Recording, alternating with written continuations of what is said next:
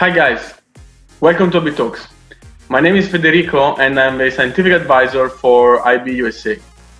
In this brief weekly podcast, we're gonna look into interesting and applied research paper in the field of enology.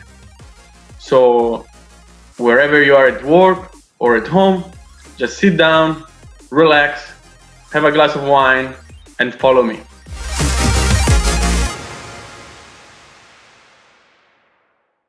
Hi, everybody. Welcome to this new episode of AEB Talks.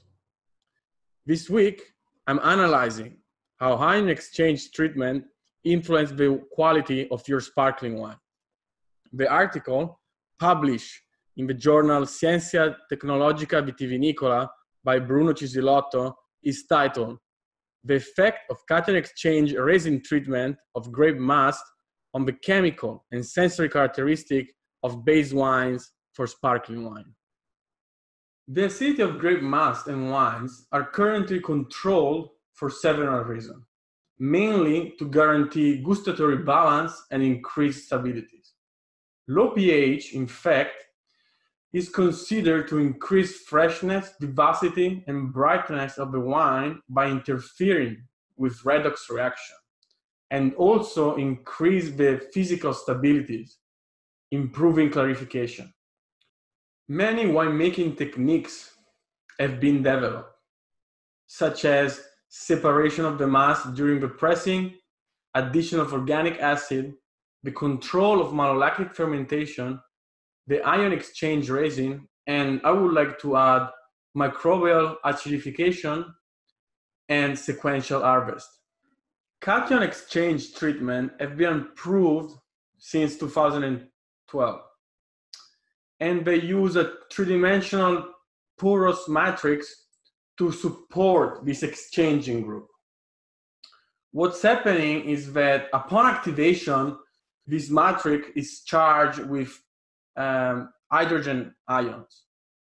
This ion react and exchange with the potassium or calcium in the wine. This increase the concentration of H plus in the wine, decreasing the pH, and release the tartaric acid, increasing the TA. Resin treated wines have been perceived as less acidic than those treated with tartaric acid addition, but are generally considered less colored and flavored than the non-treated wines.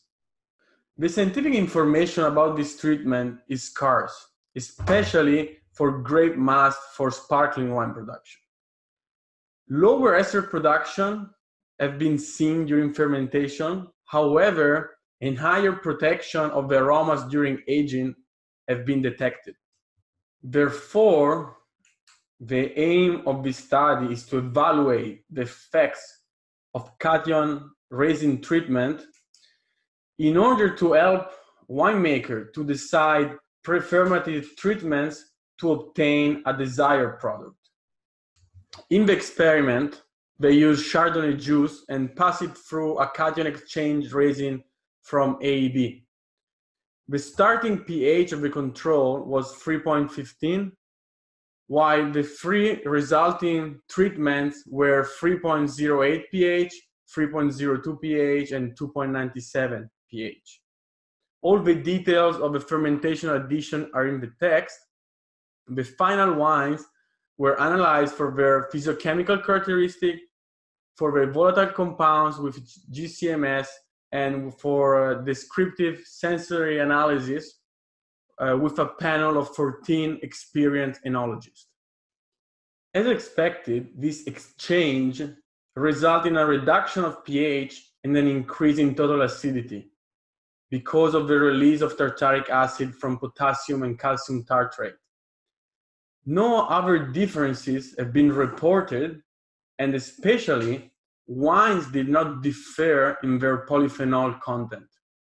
A reduction of yellow color and intensity was detected, and it was directly related to pH reduction.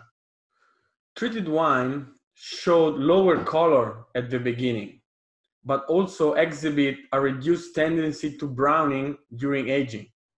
The phenomenon can be explained with a slower oxidation of phenol to quinones because of the low pH or iron and copper depletion. Only three compounds belonging to the class of acetate ester exhibit a significant reduction, dependent on the intensity of the treatment. The cause could be the removal of some necessary cations for the yeast enzyme or a possible impact of pH. The sensory analysis confirmed the variation in color intensity and in the perception of acidity, whereas the decrease of the acetate ester compounds probably alter the perception of fruity, flowery aromas in the olfactory analysis. In the end, the author conclude that the result of resin-treated wines are in accordance with the treatment proposal. In general, moderate treatments led only to minor changes in the concentration of volatile compound while maintaining the advantage of increasing the acidity and color stability of the wine due to the pH reduction. This was our weekly article. I hope you enjoyed. If you like to see more of these videos, you can subscribe to our YouTube channel or our newsletter in the website. If you like more information of AEB equipment and products to control pH and protect color, you can contact your sales representative. Stay safe, stay connected. My name is Federico, and this is Talk.